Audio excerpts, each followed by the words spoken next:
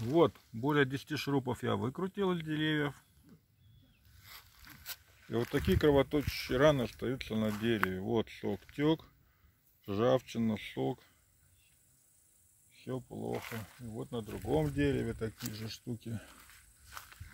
Вот они. Видите, люди как издеваются над деревьями, у которых совести нету.